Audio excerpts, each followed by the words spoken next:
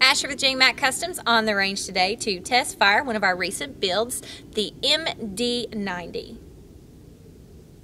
Let's check out some of its features.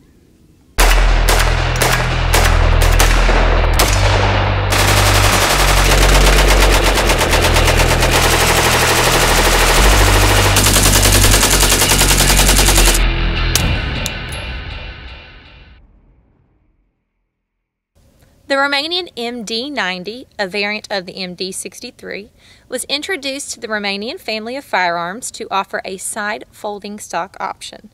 The MD90 is literally an MD63 with a wire folding stock. Everything else is pretty much the same. Another characteristic of the early MD90s is the orange front handguards and orange bakelite pistol grip. This gun was built on a Childers Guns receiver that was coated in distress to match the condition of the kit. Let's shoot the MD90.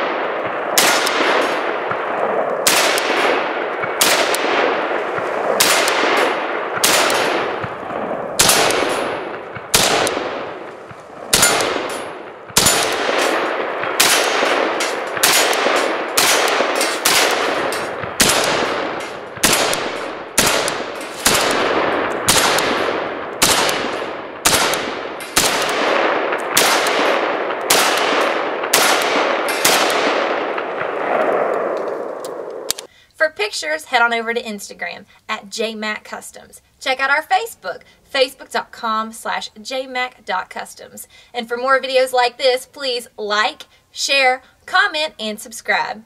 JMac Customs, more than just a firearm.